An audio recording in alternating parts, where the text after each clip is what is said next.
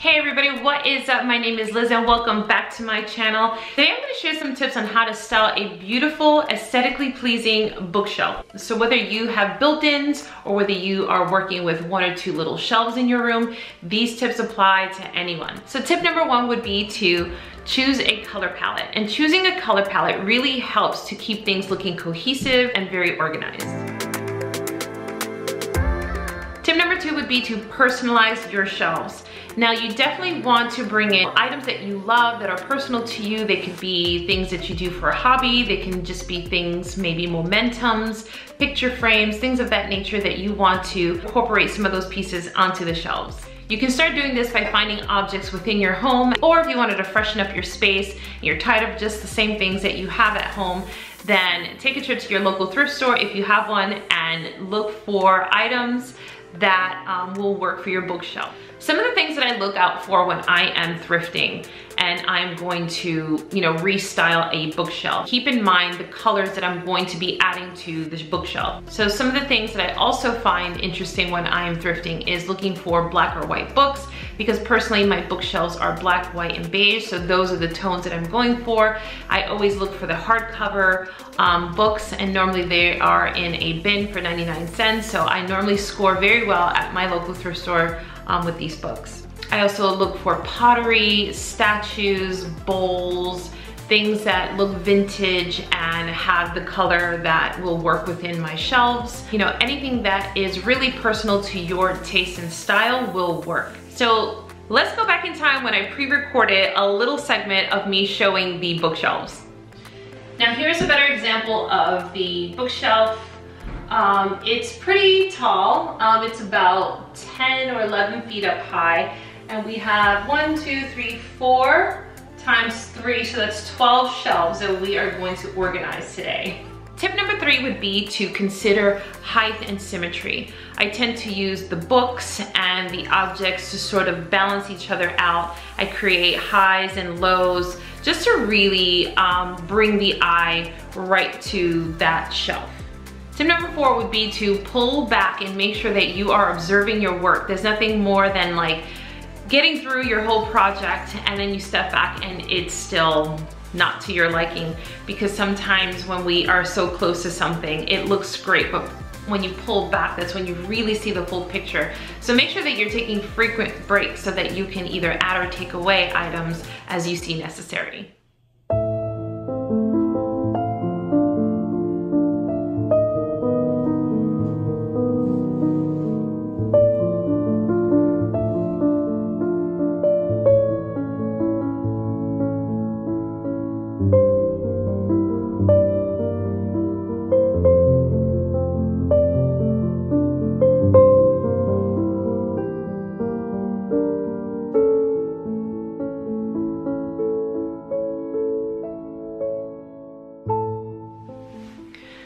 Remember guys, there is really no right or wrong way to decorate or style a bookshelf. It is definitely all up to you and your personal taste and style and color choices. So just have fun with it. These tips are just a little guide for you to sort of use if you will. I am not a professional. This is just personally how I've styled my bookshelves and I'm passing it on to you. So that is all that I have for you guys today. I hope that you enjoyed the video. If you did, make sure you give it a thumbs up and subscribe to my channel. So thank you guys so much for watching and I'll see you in my next video soon. Oh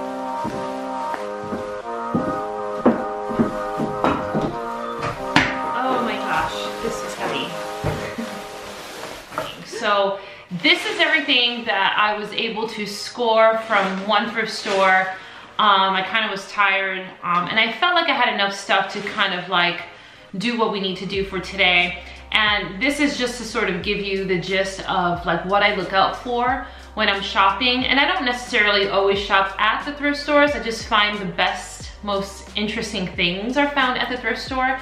And I love the vintage flair to things, you know. Um, I feel like a lot of decor that is new today always stems from something from the past. So whenever we shop, I always see something that looks vintage and it's like, I can find that at the thrift store. But um, anyway, let me unbag if you will, um, the goodies that I found and I wanted to show you how I shop for my personal style and um, how you can shop for your personal style. So, so the first thing that I do when I'm looking at stuff at a store, any store, is to keep in mind my color choice. My color choice is really going to be sort of um, the theme throughout the bookshelves. So, and if you like color, by all means, you can buy whatever colors you like and still use the same principle. But I like to keep my bookshelves pretty neutral and there are certain objects that I maybe want to pop out. Um, and so we're gonna, we're gonna get, hopefully that didn't break. We're gonna get to all of that. So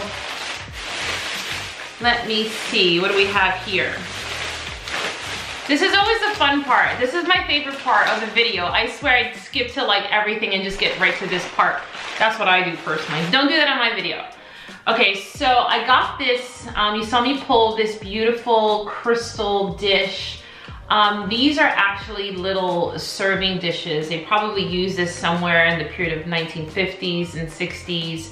Um, like some relishes maybe were here and maybe some hors d'oeuvres or something to that effect. And this is really beautiful. So you're saying, what am I gonna do with this? So Again, I love using beautiful pieces like this to like maybe store some jewelry. I would lay down like gold necklaces and some rings.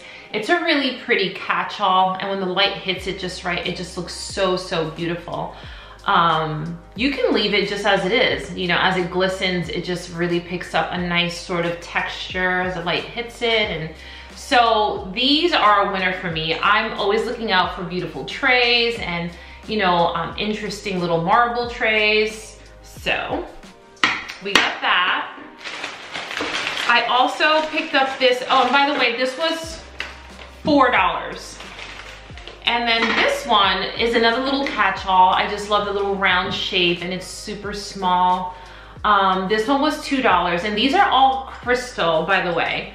Um, so this is a really good deal for crystal, $2. Now normally if it was glass, I'd be, wouldn't pay more than like 50 cents for this at the thrift store, but this was $2 because it is real crystal and it's heavy. So um, I would probably, again, just use this as it is or put some rings in here, maybe some lipsticks. Um, we're gonna play and I'll show you how to, how to get that guy looking cute, okay? So I guess this is the glass bag. No wonder this one was the heaviest bag. So you saw me pick these up and they may or may not work for the bookcase, but I'm just gonna show you anyway. This was, these are crystal um, candle holders.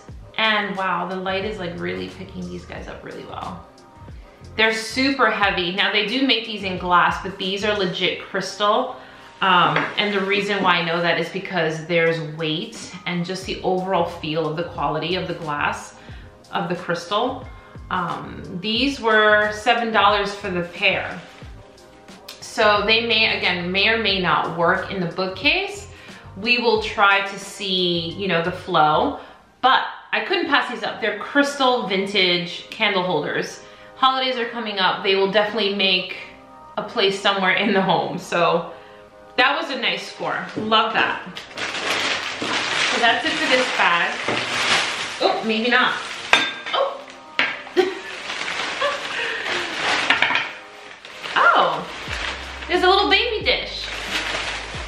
Look how small. So here's the, If you can compare in size. I even like just stacking them just like that. I think that they're pretty cool. Just, can you guys see me? I feel like I put the camera up too high. But um, just stacking them like that just looks so pretty. So there's that. I'm gonna push these guys over to make room for the new stuff. Okay, in this bag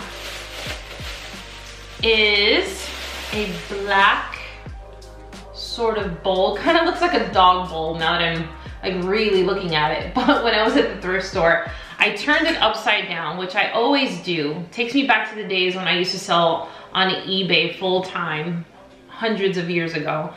And um, this is made by Haeger USA. It is a very, very well-known um, and well-loved pottery maker.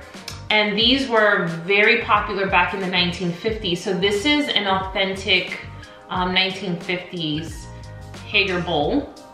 I paid $5 for it. There's no chips. Um, there's just a little kind of flaking on the bottom, but I'm not concerned about that because no one's gonna see that.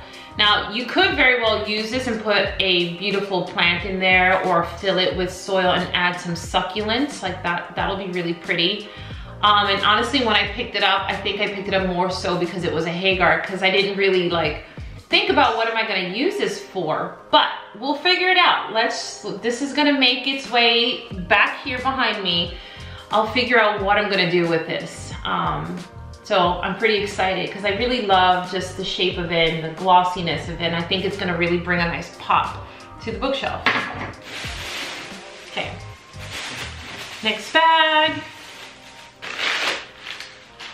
is, I paid a dollar for this basket and I think I almost put it back at the register because I'm like, well, what am I gonna put in here? But I really like the shape of it it has like this weird cylinder dome shape. Again, you can put a plant in here, succulents in here. Um, I may put some dry flowers in here. So my wheels are turning. I'm not quite certain. It may or may not make the shelf, but wanted to show you guys for a dollar. I had to have it. It'll make some place in my home really cute. I'm just not sure if it's gonna make the bookshelf. Okay. I love this. This is, I found this and I was like, oh my goodness. They're selling these at like Urban Outfitters for like $20, $30. And this one I paid $2 for and it's real metal. It's made from the Bombay company, which is, I believe, no longer um, a retail store. They may have an online shop now.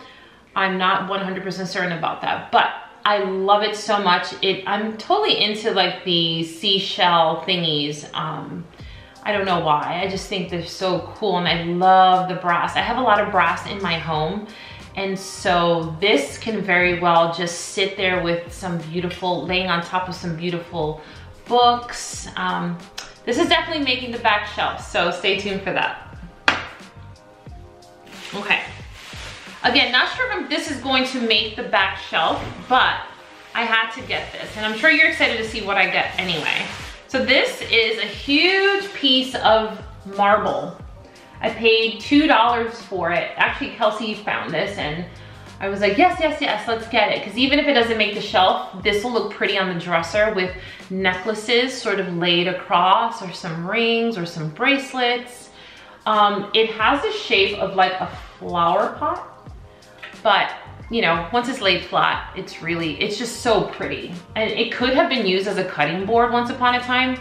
I'm not sure, but it's real deal. It's a heavy piece of marble. And nowadays when I go to boutiques and I find pieces of marble, they're sometimes hundreds of dollars. Um, I recently went to this one shop in New York looking for an interesting piece of marble and it was like $149 for something very similar in size and I may be mistaken, but I think I saw also some marble being sold at Anthropologie for $100 and up. So I got mine for $2.